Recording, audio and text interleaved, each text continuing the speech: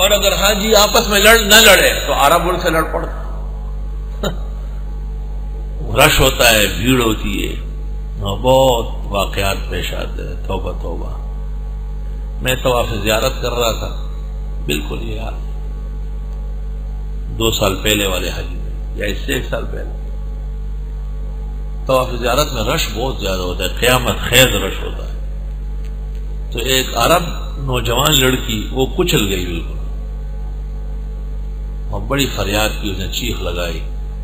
मैं मर जाऊँगा, लेकिन दिमाग से वो चीख नहीं निकलेगी। उसके बाद रश के तवाफ से तोबा की गई। और हर तवाफ में अमवात होती है, लोग कुचल जाते हैं।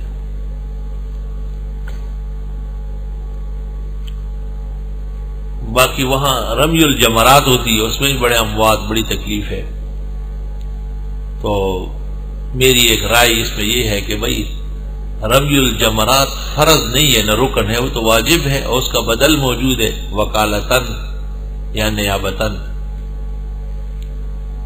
तो हरम शरीफ में बैठे थे, लोग मसाइल पूछ रहे थे, हज़रत मौलाना शेर निशा मौलाना संजान साहब, दामद बरकत दोनों मौजूद थे।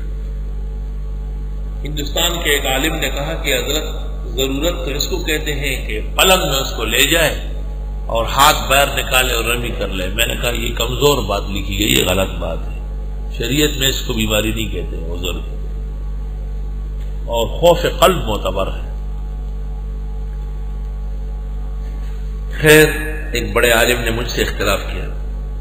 ये नहीं नहीं, हम इस नहीं तो खुद रमी करें। मैंने कहा, करे आप? असल तो खुद करना है, जब ताकत है। चले गए, जब वापस आए, मुझे कहते हैं, आपका फतवा बहुत अच्छा है। चश्मे में मातिश हुए लब में कोलाउशो दिखी में ओ पड़े जरे जरे शो, मैं खुश कर। जब सही फतवा अमल ने क्या दगा बजे हशरी चश्मा टूट गया, उनका धोती खुल गई, और जो ना होना था, वो सब हो गया। और था जो ना खूब बतदरीज वही खूब हुआ। कि गुलामी में बदल जाते हैं कौमों के जमीर। भाई, आजार और जरूरियात हर दौर और जमाने की मुख्तलिफ़ होती है। जिस दौर में यह कहा गया था कि भाई, अगर चारपाई पे जा सकता हो तो भी ले चलो, उस दौर में ये शिकायत नहीं हुई कि किसी का हाथ टूटा है, किसी की गर्दन मुड़ गई, कोई मर गया, लाशें।